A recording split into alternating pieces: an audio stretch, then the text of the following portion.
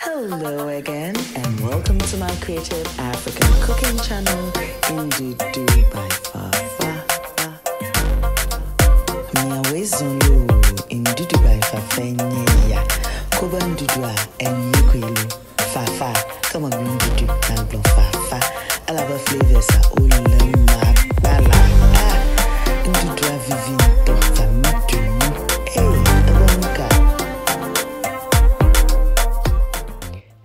beautiful people. It's Friday. Yes, it means I can now throw it down in the kitchen over the weekend, but not until I show you a simple recipe that you can try today.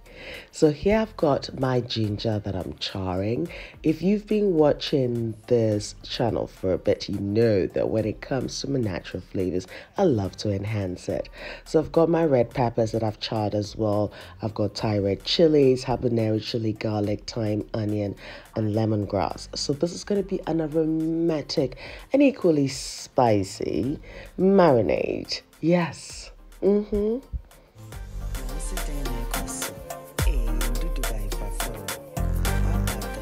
Mm hmm.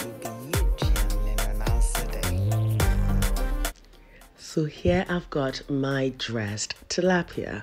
Thanks to my fishmonger, he's descaled it, removed the gut, so I don't have to stress myself. All I have to do is wash it and then using my knife to create these beautiful pockets by slanting it, as you can see. And the reason that I'm doing this is I'm just going to be stuffing these little pockets and the crevice of the fish with my beautiful spicy marinade. It's as easy as one, two, three.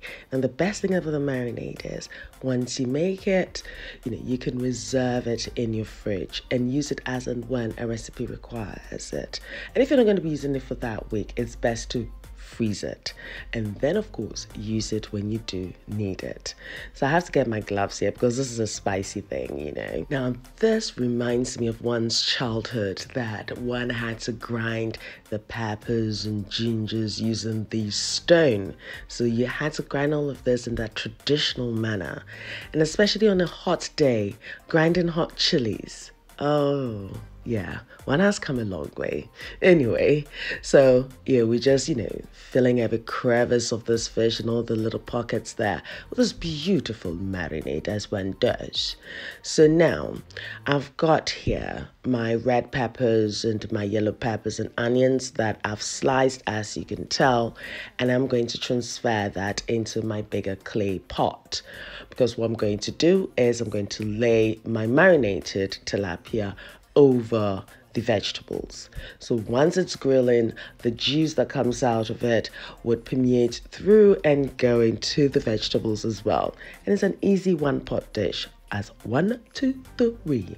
Now, if this is your first time of watching this channel, you're welcome. I hope you click the subscribe button if you like what you see so far. Yes, and the notification button so you do not miss any new uploads. But then again, if this is your first time, you've got a lot to catch up on. Yes, absolutely. And tell a friend to tell a friend to tell a friend. Yes, thank you. And to my loyal subscribers, you guys, we love you for you. Thank you so much for your love, your kindness, your comments. Yes. Anyway, back to the cooking. So at this point, preheat your grill to 180 degrees. So you're back from work. This is a no fuss dish, you know, but it's equally good. And I enjoyed this on its own. I did not have it with anything else because, of course, the vegetables did work as my carbohydrate, but you can serve it with anything. So, of course, I've drizzled it with a little bit of olive oil, but equally, you can use coconut oil, which works perfectly because, oh, that coconut flavor, mm, yeah. And add your salt to taste. So, now I'm also going to be adding some lime. As you can see, you can use lemon as well. And that's going to grow. And once this is ready, I'll squeeze this over it. And I'm done. Bish, bash, bosh. Mm-hmm.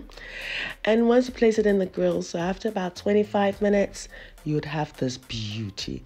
Now tell me, say your mouth no day water. You know, the jump. Ah, this one, they no be problem. oh. Just go and get the fish get the ingredients that you just saw and just treat yourself like the king and the queen that you are. We are alive. We need to eat well. We need to celebrate life, you know?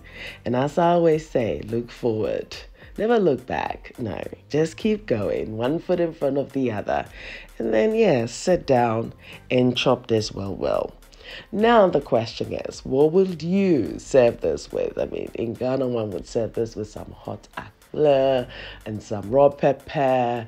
You have can have some fried yam, fried sweet potatoes, rice. I mean, anything that you want to serve this with would work equally well. Oh, but what about that amazing plantain brioche bread? Oh yeah, that would be so good with that.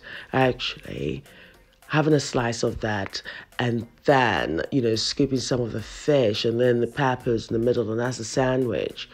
Oh, that will be incredible. Now, you see, this is not any other food. Oh. This is Ndudu by Fafa. I hope I've given you that reason to click the subscribe button if you haven't done so yet. Naturally, I leave all the list of ingredients and measurements on my blog, ndudubyfafa.blogspot.com. So do check it out. Now, if you need inspiration in terms of what else to serve this with, you've got these cocoyam chips, yam chips. Even try with some masa, yes, or pinkaso even. Yes, yes, yes, yes, yes. That's the creative cooking, isn't it? You can also find me on Facebook, Instagram, Twitter, and Snapchat as Ndudu by Fafa. So do pass by and say hi. Yes, absolutely. And row. Thank you very much for my theme song. And until next time, kings and queens and beautiful people of this earth, we love you for you. Take care of you until my next experience with you.